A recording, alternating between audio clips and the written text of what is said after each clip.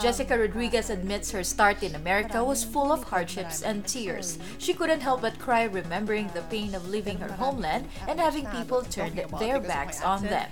In 2008, she and her husband David Bunevacz departed the Philippines after a business deal went horribly bad.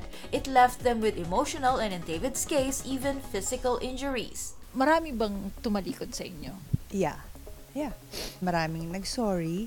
Um, uh, konti lang yung mga natirang talagang naging kaibigan ko.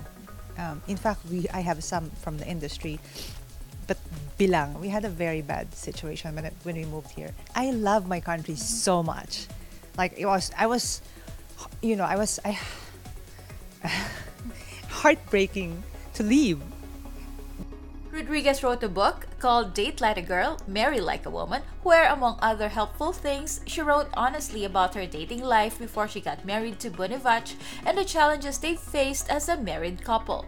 In the book and in her Polished Woman website, she gives out straightforward advice. To cap her big year, she and her 13 year old daughter Brianna were chosen as one of the six Mom and Aspiring Model finalists in Making a Model with Yolanda Hadid. She's the mother and agent of supermodels Bella and Gigi Hadid. The new weekly reality show has 8 episodes. Mas nakatulong that they found out na Pinay ka. Yeah, actually, tingin ko, of course, aside from the fact that, of course, she looks like a, mo- you know, she's like a model, um, I think nakatulong because of the mom and daughter relationship. Brianna shares the important lessons she learned from Bella and Gigi Hadid. Models are not born perfect. Like, you need to work hard to get that body that you want.